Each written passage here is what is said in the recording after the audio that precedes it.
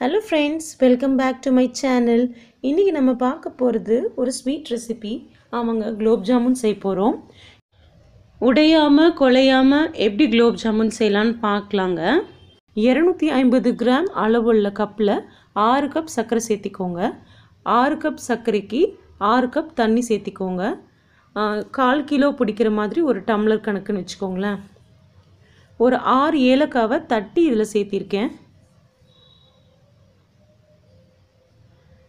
சர்க்கரை பாகு நல்லா கரைஞ்சி வரட்டும். அதுக்குள்ளார நம்ம அந்த மாவு ரெடி பண்ணிடலாம். நான் இன்றைக்கி நாலு பேக்கெட் குலோப் ஜாமுன் எடுத்திருக்கேன். எல்லாத்தையுமே இந்த மாதிரி பிரித்து ஒன்றா கலந்து வச்சுக்கோங்க. ஒரு கால் லிட்ரு பால் நல்லா காய்ச்சி ஆற வச்ச பால் சூடாக இருக்க வேண்டாம். வெது வெதுப்பாகவும் இருக்க வேண்டாம். நல்லா ஆறியே இருக்கட்டும். அதை இதில் சேர்த்து நல்லா கலந்து விட்டுக்கோங்க. ஒரு புட்டு பதத்துக்கு கலந்து விட்டுக்கோங்க. உங்களுக்கு ஒரு இன்னும் ஒரு கால் டம்ளர் தண்ணி தேவைப்படும். அதையும் சேர்த்திக்கோங்க.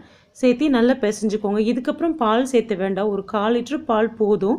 உங்களுக்கு இதுக்கப்புறம் வேணும்னா தண்ணி மட்டும் சேர்த்து பிசைஞ்சுக்கோங்க. ரொம்ப பால் ஊற்றுனீங்கன்னா அது ஒரு மாதிரி திகட்டின மாதிரி இருக்கும்.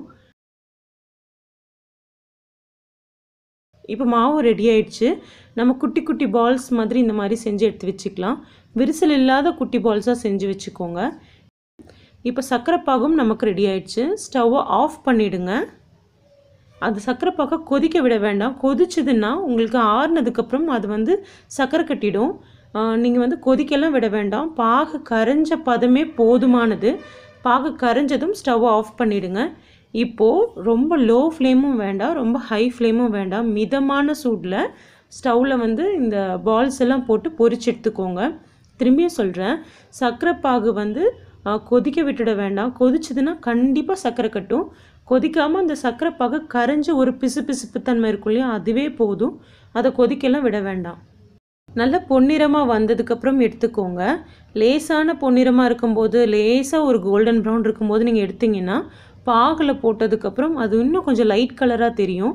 நீங்கள் இந்த மாதிரி கொஞ்சம் டார்க் கலராக வந்ததுக்கப்புறம் எடுத்தீங்கன்னா உங்களுக்கு கரெக்டாக இருக்கும் அந்த கன்சிஸ்டன்சி பாருங்கள் சர்க்கரை பாகு ஆறுனதில் தான் நான் இப்போ குலோப் ஜாமுன் சேர்த்திருக்கேன். அந்த கலரும் பார்த்துக்கோங்க. சூடான சர்க்கரை பாகில் சேர்த்துனீங்கன்னா அது நல்லா ஊறி நம்ம குலோப் ஜாமுன் எடுக்கும்போது உடஞ்சி உடஞ்சி நமக்கு கிடைக்கும். நீங்கள் நல்லா ஆறுனதில் அதாவது வெது வெதுப்பானதில் சேர்த்துனீங்கன்னா உடஞ்சி வராது. இந்த ரெசிபி உங்களுக்கு பிடிச்சிருக்கும்னு நினைக்கிறேன். பிடிச்சிருந்ததுன்னு என்னோட சேனலுக்கு லைக் பண்ணுங்கள் ஷேர் பண்ணுங்கள் மறக்காமல் சப்ஸ்கிரைப் பண்ணுங்கள் தேங்க்யூ